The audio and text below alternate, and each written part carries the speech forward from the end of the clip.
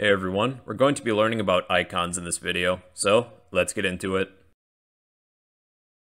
Before you reach the end of this video, make sure to like, comment, and subscribe so that we together can challenge and defeat the mighty YouTube algorithm. Hey everyone, so for this lesson, this is going to serve as a mini bonus video on how to add icons to a web page. Now there's a few ways that you can do this. This is what I do. I tend to use this website called Font Awesome, and here's the URL. I'll also post this in the description if you want to copy this, or feel free to pause the video. So you can actually use a lot of icons from this website.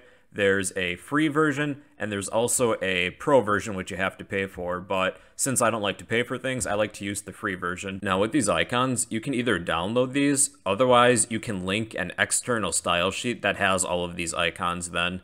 So I'll include this link in the description, otherwise you can pause the video and copy this down. But once you have this link in the head of your HTML file, you're good to go then. Let's say that we want to include some sort of home icon, so we can do a search for that in the gallery here. So let's look up home and see what we find. This will be fine. Now in order to use this icon, you'll want to be sure to include this i tag, and I'll just copy this and paste it here. So there's one trick though. If you're using the free version, you want to be sure that you're typing in FA space FA dash and the name of the icon. So here it says FAS space FA dash home. We'll just want to be sure to take that S out. Other versions might have other letters here. Um, so let's save this and test it.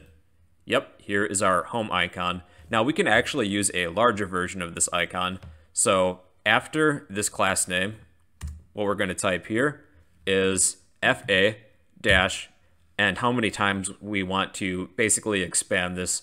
Which version do we want? Let's say we want the version that is two times larger. We're going to place 2x here. So now we get a larger version of this icon, but I think I'll stick with 4x for this demonstration. And this is a suitable size, I would say. I'll include just a few other icons. You can always search for some icons that you might like within the gallery. So there's one for YouTube, which I'm going to include. So I'm going to change home to YouTube. And there's also one for Twitter. So I'm going to change home to Twitter. And we're using the 4x version. So let's save, reload the page. And here are a few icons. And with these icons, you can individually style these using CSS. So let's say we want to change the color of our YouTube icon. So what we'll do is target our YouTube class that was .fa-youtube, and we will say we want this to be red. And let's do the same thing for Twitter, but a different color. So fa-twitter. And we want this color to be 1DA1F2. I didn't remember that, I had to look it up. So let's save it, reload the page, and we have some nice colorful icons now.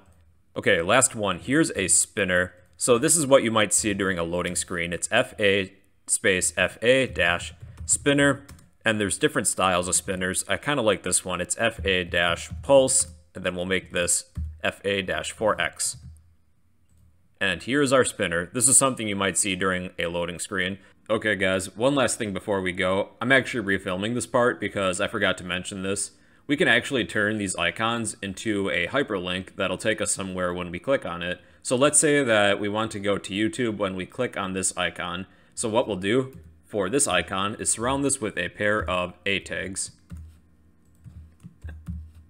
Now within the opening A tag, we'll use the href attribute and set this to the website that we want to go to. So we'll say https colon two forward slashes www.youtube com. Let's save, reload the page. Now, one thing that you might see is that there tends to be like this underline. You might not see it here. Uh, you can actually get rid of that. That's standard with all hyperlinks.